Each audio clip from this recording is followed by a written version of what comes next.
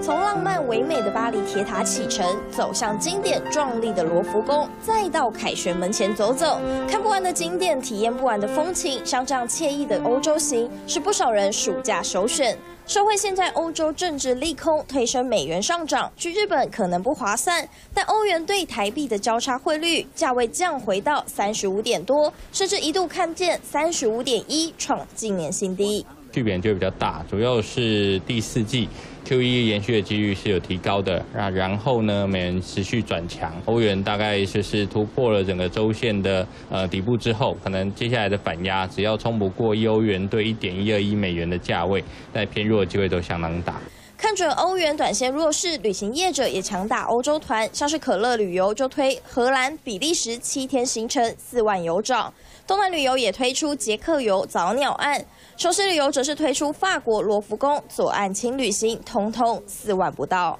假设是以八月出发，那现在是五月底，那可能例如说五月底先换三成，然后六月底、七月底各换剩下的三成，那在出国前一次把它领出来，就可以既避免汇率风险，又可以简单省事。想暑假好好出游的民众，千万要留意最近的汇价波动，抓准甜蜜换汇点，替自己省点荷包。三立新闻股高数廖亚文台北报道。